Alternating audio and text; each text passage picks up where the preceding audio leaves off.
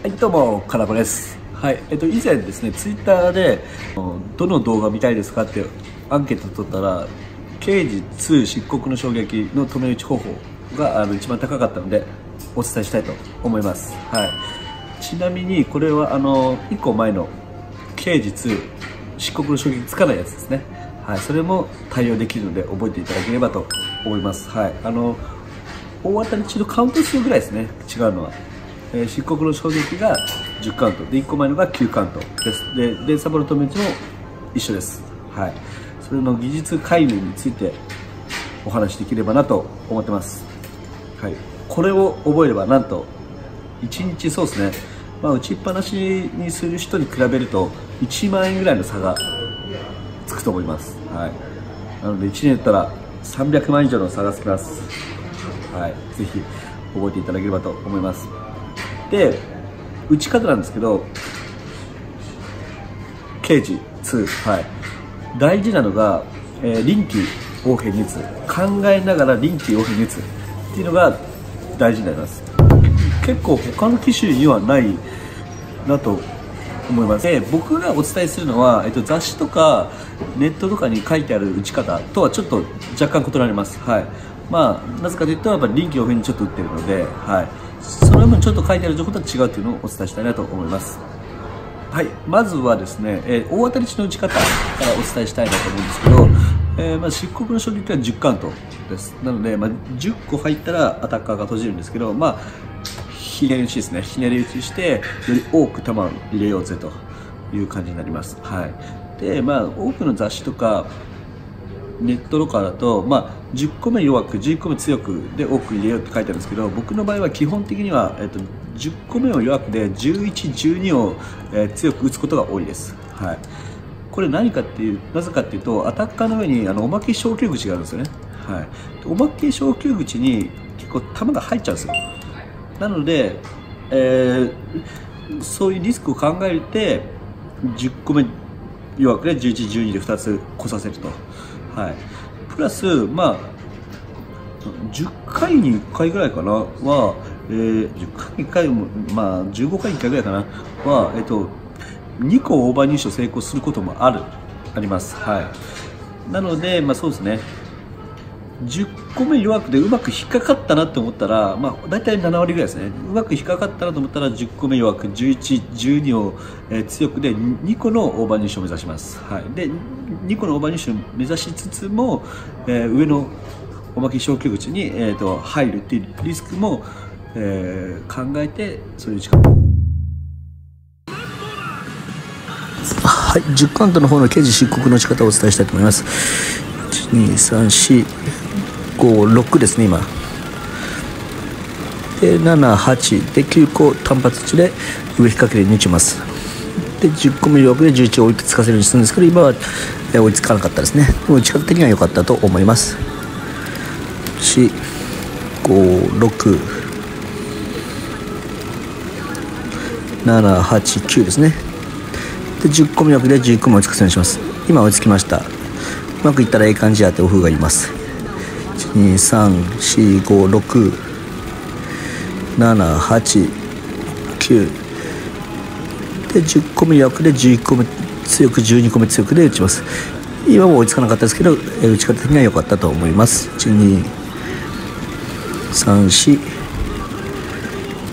1234567今これが9発目かなおそらく。で1011と。はい今1個追いつきましたね。12345 6、7で弱く調整してます。8あこれは9あ101112でしたね。はいという感じです。はい、えー、続きまして電サポの止め打ちですね。これがかなり本当臨機応変な打ち方が必要とされるなと僕は思います。はい、まず、まあ、前提として知っておいた方がいいと思うのが K12 は、えっと、ほぼ球増やすのが無理だと思った方がいいです。はい。えー、そうですね。まあ、大体の店はマイナスにしてるんですけどおそらく無調整でも減っちゃうと思います、はい、上のそのお揚げ昇級口がよっぽどプラスにしてたら増えることはありますけど、はい。まあ、そんなお店ほぼないと思うので、まあ、減るもんだと。なので減るのを防ぐっていう打ち方をするっていうのをまあ大前提に覚えておいた方がいいかなと思います。はいはい、でまず、えー、僕はですねまあ、あの確変中とか入るときにリンゲージボタンを押してなるべくプレミアムモードで打ちます。はい、っていうのは、えーとまあ、減るのでもう当たりエースが来たらすぐ止めたいんですよね。はい、なのでもうなるべく早くもあこれ当たり当たりだなというのをサーチするためにプレミアムモードで打ちます。はい、です。で、まあ、止め打ちなんですけどままずどういう3パターンあるんですね。はい、ランプを見ながら左下に書いてあるんですけど3パターンあります、はい、で左点灯だったら約5秒のロング解放、はい、で、えーと、右点灯が3秒2秒ですね。で左右ついたら、えーと、2秒3秒。ってやってるかな、はい、2秒3秒です。はい、この3パターンがあるっていうのをまずまあ打ちながら、えっと、しっかり理解することが大事です。はい、で、まあ、閉じる直前にあの2回目の解放もしくは1回目のロング解放。閉じる直前に2個打つんですね。2個打って1回目の解放を追いつかせます。で2個打った瞬間にもうすぐランプを確認してランプが左についたら大体3個、はい、で右もしくは、えー、左右だったら2個っていうのが、まあ、基本だっていうふうに覚えてもらえればいいと思います。はい。この後、あの、友一の、あの、実際やった動画流しますけど、っていうのが基本です。っていうふうに今雑誌で書いてるんですけど、えっと、僕の場合は、そうですね、あの、電柱が多くある時は、一個打ちに変えたりします。はい。まあ、減るもんなので、なので、まあ、ちょっとタイミングずらして、まあ、1個打つ。あの、2回解放の時は。はい。まあ、ロング解放の時は2個、3個。でも電柱が多くあったらちょっと玉数打ち込む玉数減らしたりとかしますはいですねはいで電柱の残りが少ないなと思ったら、えー、ちょえー、2個2個打ったりとかして、まあ、臨機応変にそれも打っていくと。はい。へそ保留が残ってたらへそ保留を消化しないように、えー、意識して打ってください。へそ保留消化させるとすごいもったいないので、はい。あのー、ね、振り分けも悪くなりますしあと16ラウンド比率てか16ラウンドがなくなっちゃうのか漆黒の場合は。はい。なのでへそ保留を消化させない。っていうのはまあ意識しながらまあへそ保留がそうですね。ないよっていう時は、えー、ゆっくり丁寧にあのー、打っていけば減らさないより減らさないようにね。これも臨機応変なんですよね。はい。です。であとはそうですね。あ核変の分岐が100回転目にありますよね。でそこであの止め打ちをやめちゃう、えー、人もいると思うんですけどで終わっちゃう可能性があるんですけど、まあ、できる限り100万石の先戻った時に、えー、電サブを貯めておきたいので、まあ、ゆっくり1個ずつとか打っていきます、はい、で終わった瞬間は最後閉じるまでギリギリまで、えっと、打ち込んでください、はい、電柱1回転の価値がめちゃくちゃ高いのではい。です。で100回転目超えたらえっとランプを、まあ、凝視してランプが消えたらすぐ電サポが終わるんですね。はい。なのでまあそのランプを凝視しながら打つっていうのが大事です。でえーと、それも急に終わるので結構早く。できる限り電池を貯めておきたい。電池貯めて、えーまあ、負けなら負け演出を終えたい、まあ、勝ち演出でも、まあえー、最低電池1個は貯めて終えたい、はい、なのでできる限りあの100回転までの打ち方より多めに球を打ち出します、はい、まあ2回開放だったら僕はその真ん中の開放はもうに合わせることないです2個打つ2個打つとか打たないですね100回目以降はまあ6発ぐらい打ったりとかする打ち方をします。はい。でランプが消えたらすぐ止めるようにしてください。はい。と伝えるのはないかな。うん。まあそんな感じですね。なのでかなりまとめるとかなり本当に、まあ、雑誌とか、えー、ネットとか書いてある情報だけじゃなくて、まあ、いろいろ考えながら臨機応変に打っていくのが僕は大事だと思います。はい。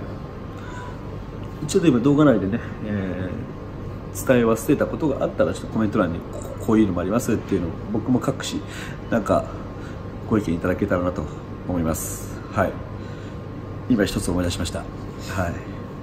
あのまあ最初に通常大当たりを引いたら引いたら僕はあの70回転消化残り30回ぐらいになったら左にも打ちます、はい、で3つぐらい貯めます、はい、これまあなんでかっていうと左に打つと、まあ、右側だけ電柱ありますね。あのそこに入ってくれるんですよ、はい、だから球をちょっと減らさずにへそ掘りを貯めれます。まあ通常時に電柱が開くことは100%ないので、はい、なのでまあちょっとだけ得するという、まあ、めちゃくちゃかなりせこい友達ですけどあの30回残り30回ぐらいになったらそうですね、まあ、これもへそ掘りによって残り何回かちょっと変えるんですけど、え、左に打ち替えて、えー、ちょっと溜めて終えます。はい。まあそこまで有効じゃないですけどはい。あの他の台でもね結構使える左右振り分け打ちっていうのは使える機種も多いので、まあ、覚えておいた方がいいと思います。はい。他になんか、えーと、こういうのもあるよってなったら教えてください。はい。こんな感じです。はい、電サポの気持ちをお伝えします。まずはスルーに通してスルーに入って止めます。えーと、なるべくその時の気持ちになったつもりでお伝えしますが、ちょっと今話しながらと打ってる時では気持ちが違うので若干のズレがあると思います。はいまあ、左のセグですね、ランプ、先ほどお伝えしたことを見ながら打ってきますね。で、これはロン解放。はい、で、終わったら2発打つ。2発か1発くらいでいいですかね、フルが多いんで。え2発打って1発か2発ぐらい打っていくとでロング開放が来たら3発ぐらい打ちますねボリューム少ないので発の後に、え2発か3発ぐらい打ちます。1発1発ぐらいでですね。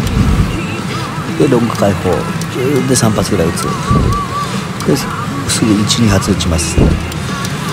電池が多かったら、えー、一発でいいと思います僕は。はい。もうまあ繰り返すだけですね。左下のランプを見ながら繰り返します。で2発ぐらい打ってで2発もう一回打ちに行くと。うんいいタイミングですね。です。2発か3発ぐらい打つとロングは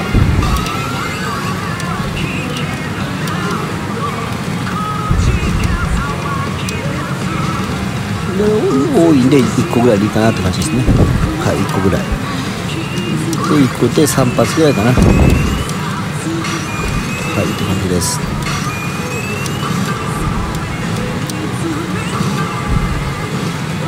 で発展したらまあ基本的には一発打ちですね。えー、この場合はスルーを通すために一発打ちをするか止めるかっていう選択肢になると思います。まあ発展したら止めていいと思いますね。で見守ります。まあスルーを取り入れさせないために、えー、一発打ちでもいいかもしれないです。はい。まあ、これプレミアモードで打ってるので、まあ、ほぼプレミア絡まないと当たらないですね。ここでなおプッシュもやれることがありますけど。でもう一回するとしてするとしたら止めると、はい、2発。で12発撃つって。でロム解放に1まあ1個ぐらいですね。電池オイルで、まあ、2, 2発来たか1個。1個ぐらいでいいかな。1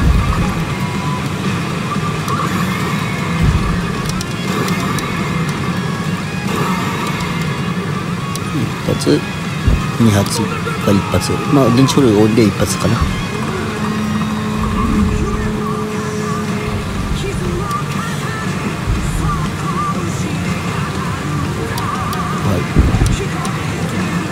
っていう感じですね。はい。